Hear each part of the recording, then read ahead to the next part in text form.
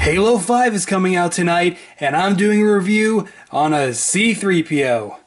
God. What's going on guys, it's Michael MGF, and today I'm going to be doing a review on the new LEGO Star Wars The Force Awakens C-3PO polybag that is finally showing up here in the US in Toys R Us stores, and unfortunately I was going to have this review out a lot sooner. As a matter of fact, I ordered this from the UK like a month ago, and it still has yet to show up, and uh, sure enough, of course, they hit Toys R Us stores here in the US before it even shows up in the mail, so I end up just running over to my Toys R Us and just sifting through a bunch of the polybags, to get the best eye printing, and uh, I basically ended up here. So, yeah, originally tonight I was supposed to be doing the Halo 5 Guardians showcase, but that didn't exactly pan out because of some complications with getting sculpts done and some other stuff, but instead, we're reviewing 3PO here, and uh, without further ado though, let's get started. Alright, so the Force Awakens C-3PO with his dark red arm and everything, this minifigure seriously is the whole package because not only do you get the awesome design, but you really do get a lot of printing on the arms and on the legs, and as you can see,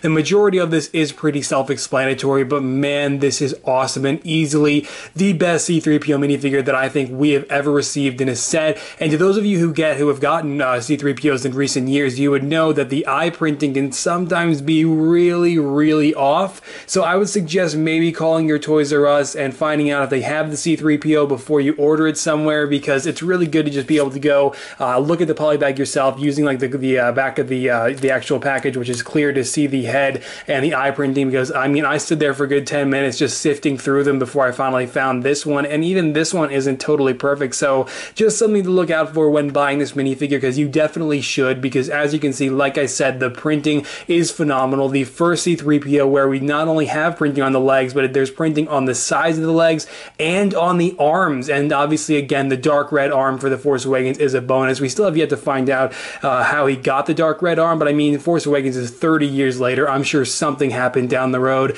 And apparently, that's actually going to be explained in some kind of comic that's coming out soon. I don't know. Um, but regardless, yeah, like I said, the design is just really awesome. As you can see on this side here with this arm, uh, which is actually uh, his right right arm. The right arm is really nice, and I mean, there's really not much for me to say about the design other than it's obviously accurate and really, really awesome. And the dark red arm has a similar detail over here as well. And uh, once again, any type of arm printing, any type of leg printing is just a huge bonus, and it really, really does top off this minifigure. Uh, the printing on the side of the uh, leg is also really awesome. All the printing on the entirety of this pair of legs is fantastic, and all the individual lines making it look so detailed is really awesome. Love the use of all this dark brown and uh, it just looks great. And there's really not much for me to say other than just for obvious reasons, this minifigure is really, really well done. And I'm so glad LEGO put it in its own poly bag because if this minifigure showed up in one of the Force Awakens sets and that had to mean that maybe the minifigure didn't get this kind of printing, then man, I would not have been, I would not have been okay with that. And I'm so glad that LEGO put him in a poly bag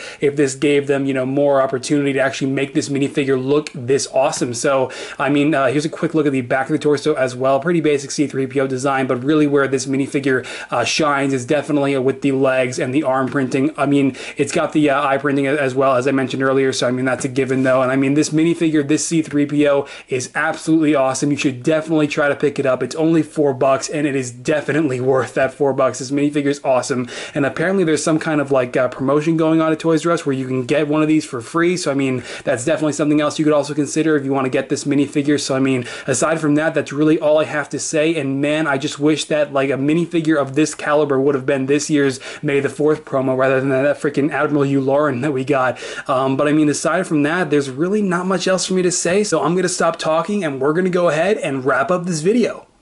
Why is that arm red?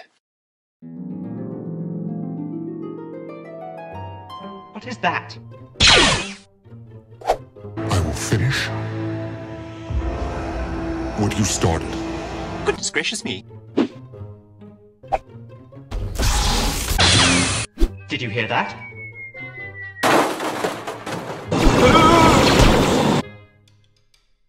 Alright guys, and there you go, my rather quick review on what is basically the best version of C-3PO that we have ever had. Hands down, it is a fantastic minifigure. Definitely pick one up for yourself at your local Toys R Us. And uh, if you enjoyed the review though, or maybe found it informative, be sure to let me know by dropping this video a like below and or your opinion on this new C-3PO down in the comments, any of which, either of which really mean a lot. Definitely go a long way, guys. And uh, this could very well be the last time that I post any kind of Force Awakens related video before the movie itself comes out. So it's like, damn, I cannot believe that. But I mean, if you want to keep up with the hype, or at least my hype, and everything that I'll be doing to celebrate the movie's launch, the 12 minifigure showcase, and the process, and uh, the, everything that it's going to take to make that and put all that together before the movie comes out, definitely check out my Twitter, Facebook, and Instagram. Links to all three of those are always down in the description below as well. Or you can definitely check out my vlog channel where I post much more in depth and longer videos talking about all that stuff.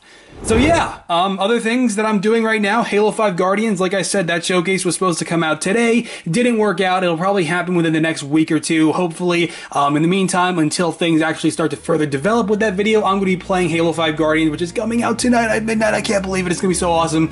And uh, what is really awesome, though, was that final trailer for The Force Awakens. Oh my god. I can't, I, I have no words, and I, I just, I, I'm going to go, and I'll see you guys later. All right.